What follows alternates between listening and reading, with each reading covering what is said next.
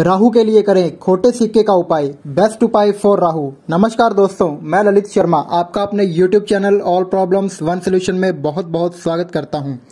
दोस्तों, आपका कारोबार बहुत अच्छा चल रहा था, परंतु अचानक से कुछ अड़चने आनी शुरू हो गई और आपको, आपका चलता चलता कारोबार ठप हो गया। आप झगड़े, फसादों में फंस गए और कई लंबी बीमारियाँ शुरू हो गई।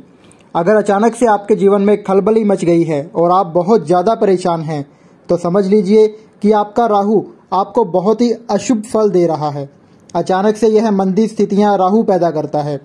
जब यह आठवें घर में हो या वर्ष फल में आठवें घर में आ जाए, जब आपकी जन्म कुंडली में राहु आठवें घर में स्थित हो तो वह आपके लिए एक से एक नई मुसीबत पैदा करता है। अब इन मुसीबतों से आपको यह खोटे सिक्के ही बचा सकते हैं। पुराने जमाने में एक पैसे, दो पैसे, पाँच पैसे, दस पैसे आदि के सिक्के चलते थे। यह सिक्के आजकल प्रचलन में नहीं है, इसीलिए इनको खोटे सिक्के कहा जाता है। यह गिल्ट धातु के बने होते थे, जो कि राहु की धातु है। तो हम राहु की धातु से ही राहु का उपाय करेंगे।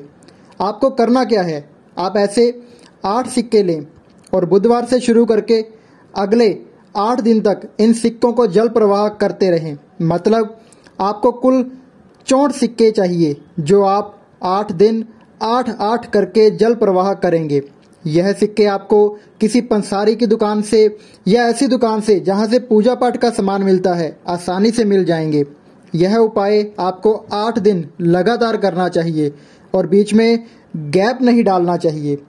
अगर आपके घर के आसपास ऐसा स्थान नहीं है, जहाँ आप यह सिक्के जल प्रवाह कर सके तो आप इन सिक्कों को किसी धार्मिक स्थान पर भी चढ़ा सकते हैं।